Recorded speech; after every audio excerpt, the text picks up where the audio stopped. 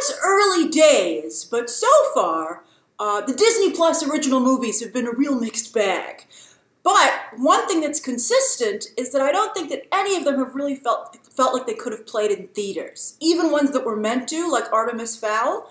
And then even with Hamilton, while that made for a really fun streaming experience, I think it would have seemed more like a Fathom event if Disney had released it in theaters. Uh, and I think Hamilton deserves better than that. I want that Hamilton original film, you know, a, a proper film adaptation. But anyway, this movie was supposed to play in theaters in August, but you know Disney's already getting quite the backlog of theatrical releases. So they've put this on Disney Plus, and I'm hoping that it looks like it's a genuine theatrical release that we get to see at home. All right,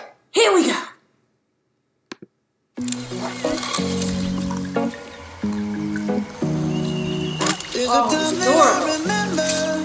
When I did not know no pain.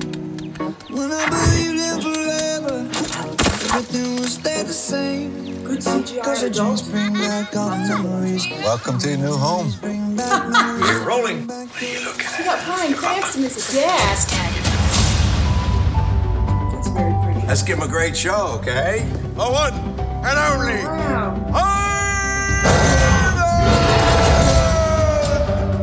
Why do they want an angry gorilla anyway? You're a silverback. He terrifies humans. Oh. You're not terrifying. Who's that? My sister. Where's your sister now? I don't remember. Memories never leave us. They just get out of reach. Whoa. Did you draw all these? A gorilla. Who draws? What is it? Don't tell me, don't tell me. Bryan Cranston does It's a lonely haystack on a late he wants to summer day. Sure. It's a beetle. Can you tell me a story? Once there was a baby elephant who was smart and brave, and she needed to live in the wild where she could be free.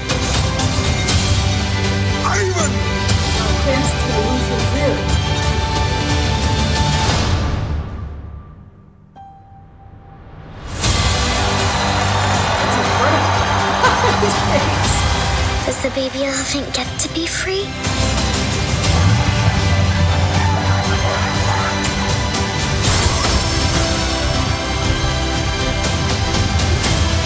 This painting is clearly a sign he wants to be free. What about Mac? He's taken care of me my whole life. We're family. We're in this together.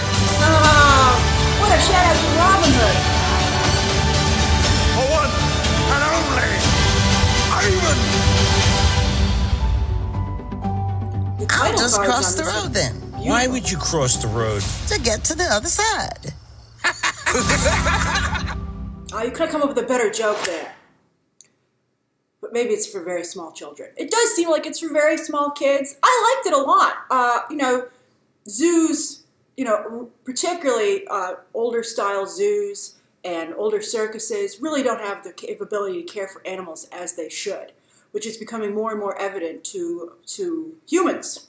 I've I've had my own experiences where I've even at, at Disney's Animal Kingdom, I'll never forget the look on a gorilla's face when we were watching the animals, and he was just like, "Are you not entertained?" Like he was really like it was it was very human, and so I've actually not gone to any zoos since. that was such a disturbing and horrible experience, and I felt so bad. Um, and I, I do have a problem with animals in captivity. Uh, although I think what's also funny, speaking of, you know, what are these animals thinking? There's that infamous story that they taught a, a gorilla, I believe it was a gorilla sign language, and the first thing he did was tell the female researcher to take her shirt off. So, um, speaking of this being an all kids movie, there's a fun story for you. I made it PG-13.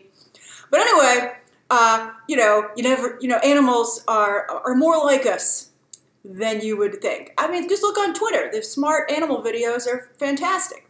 So I think that I think it's good. I think it looks like a streaming movie yet again. But I think the good news is is that it looks like a good streaming movie.